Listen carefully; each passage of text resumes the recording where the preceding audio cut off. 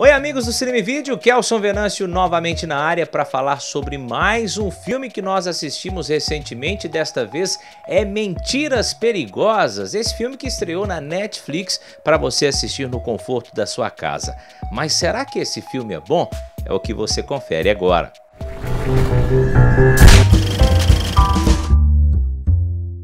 Antes de mais nada, gostaria de te pedir para você se inscrever no nosso canal, para curtir, compartilhar, dar aquele like, aquela forcinha, porque a gente precisa de você. Bom, vamos então para a crítica, a gente vai falar de Mentiras Perigosas, que é um filme que tem uma premissa extremamente interessante.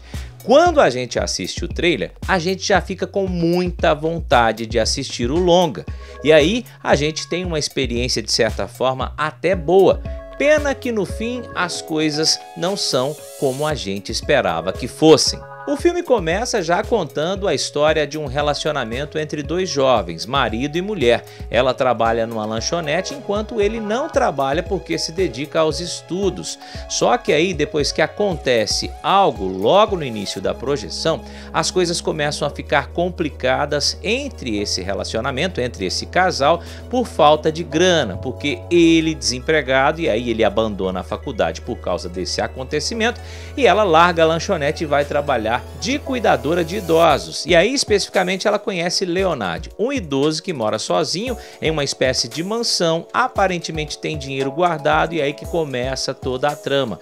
E aí acontece algo também nesta casa que vai envolver este casal. Eles começam a guardar alguns segredos diante deste acontecimento. E aí envolve também a polícia, uma investigadora passa a entrar no caso, uma advogada, um suposto corretor de imóveis e outros personagens que vão surgindo ao longo da narrativa, que a princípio, como eu disse no início, é bastante instigante. É porque a gente fica extremamente curioso para saber o que realmente está por trás daquilo que vai acontecendo ao passar do tempo quando a, a, história nos é contada.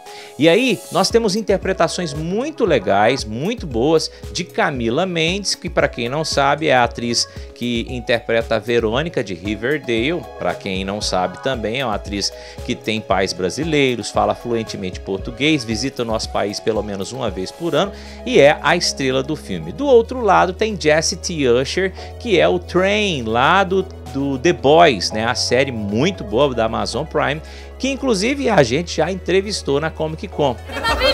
Cinema Thank you. Thank you. E a química entre esses dois atores, de certa forma, também é muito boa por causa das atuações deles, porque a gente começa a ficar com a pulga atrás da orelha diante do que vai acontecendo e das situações que são colocadas durante a projeção. E com isso, o roteiro vai crescendo, a gente começa a ficar curioso, só que aí surgem detalhes secundários nesta trama que depois eles não são, de certa forma, revelados lá na frente. Algumas coisas que acontecem dentro da casa que depois a gente fica na dúvida. E aí, o que realmente aconteceu? Por que, que essa pessoa entrou na residência? O que eles estavam ouvindo? O que tem isso a ver com a trama principal? E de tanto detalhe secundário, justamente o tema central acaba ficando um pouquinho de lado na segunda metade da projeção. E é aí que eu entro na decepção que a gente teve nesse filme no final, porque o desfecho, diante de tantas teorias que o espectador cria ao longo do filme, a gente acaba se decepcionando quando a gente fica sabendo exatamente o que estava acontecendo desde os primeiros minutos que a gente assistiu Mentiras Perigosas. Mas de certa forma é um filme que eu ainda considero um filme bom, porque é um filme que nos traz muita curiosidade para saber exatamente onde aquilo vai dar. E aí, nessa situação, a gente acaba não se cansando, né? A gente quer ver mais e mais e mais mas infelizmente a expectativa grande ao longo do filme acaba trazendo um pouquinho de frustração para muitas pessoas, que foi o nosso caso. Mesmo assim, o desfecho não é péssimo, não. Somente nos deixou apenas com aquele gostinho de quero mais. Tipo assim, ah, era isso?